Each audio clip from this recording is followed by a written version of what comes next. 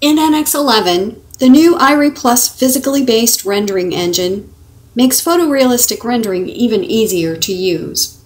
Let's take a look at it by going through an image production workflow. Start by going to the Render tab that opens the Render ribbon, but go directly to the Studio task to do your rendering setup. When you enter the Studio task, the Advanced Studio display is set for you automatically, as is a default scene, this Gray Studio scene, with image-based lighting and a base plane. A new set of system materials is provided for you based on Iray Plus.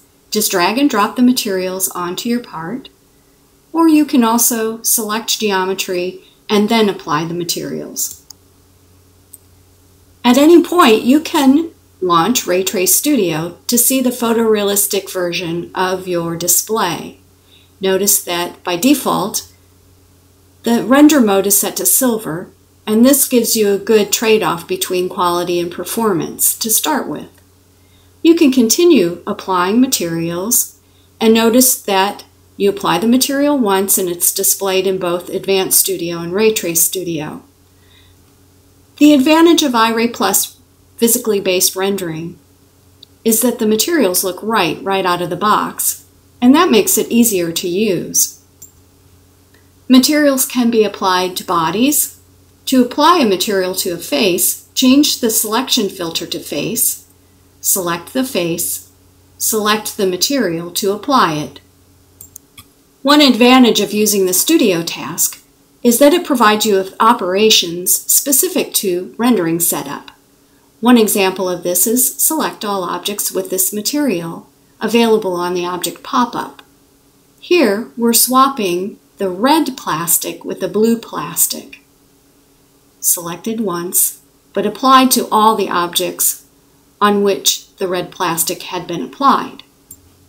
Important to note that you can finish Studio to exit the Studio task at any point, and Advanced Studio and Raytrace Studio displays are still available to you in modeling and other applications. Let's continue our image production workflow and open a part that's been fully detailed. In Raytrace Studio, the display mode is set to gold, which is the highest interactive mode. It gives you the best quality and is still interactive. To do the rendering setup, we go to Raytrace Studio Editor. Notice the new remote render capability. For static image setup, you can pick the file format. You can render to window size or bigger than window and you can set a time limit. Hit the Start Shade button to render your image at the highest quality level. You control the duration by either waiting for the time limit or hitting pause. Save the image to a file, specifying the file path and name, and hit OK to save the file.